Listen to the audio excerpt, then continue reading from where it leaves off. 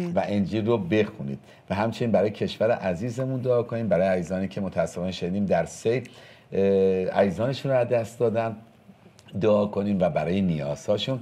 و می‌دونیم که این دعا همیشه با ما هست. برای آزادی کشور عزیزمون ایران از چنگال نظام اسلامی. آمین. پدر آسمانی خدای قدوس رو شکر می‌کنم برای محبت عظیمت برای این وقتی که تو مهیا کردی. بله. خداوندا تو بیشتر از هر انسانی ای خداوندا آگاه هستی نسبت به افرادی که در رنج هستند در سختی هستند در مشکلات هستند به طور خاص هموطنان ما که ای خدا در ایام گذشته بر اثر این سیل آسیب دیدن. بله، عزیزانشون رو از دست دادن. از تو می‌خوام مطابق فیض در نام عیسی مسیح قوت تو و حضور تو با آنان باشه. می‌کنم تو با هموطنان ما باشه خداوند. تو اونها رو دستگیری کنی.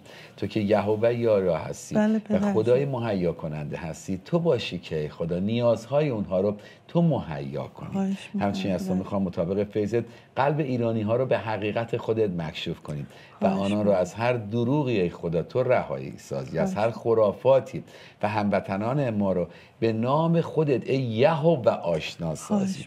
ما ایمان داریم که تو با فیضت عمل می‌کنی. اینک مصلحت های دل عزیزانم رو همچنین خداوند رو از تو می‌خوایم. تو که موافق ظلمت نیستی. موافق ظلم و ستم نیستی. در نام عیسی مسیح این نظام اسلامی رو که باعث این همه ظلم شده خدا تو سرنگون کنه خدا. تو نهیب بزن که بیفتن ای خداوندا.